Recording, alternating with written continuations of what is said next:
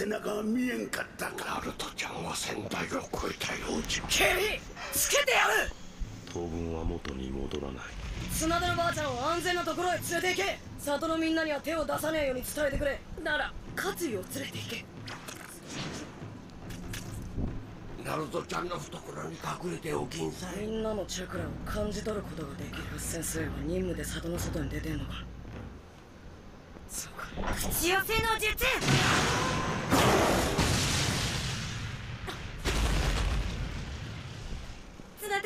大丈夫だ。お疲れ様でした。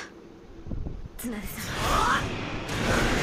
先方川影分身の術先方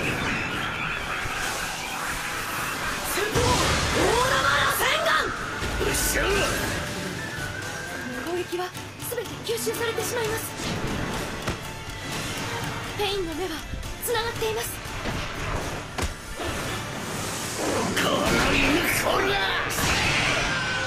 ら落ちる。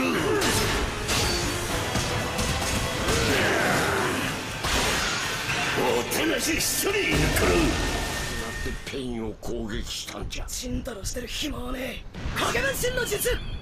ジライア先生と同じ術を身につけたようだな。俺もジライアから術を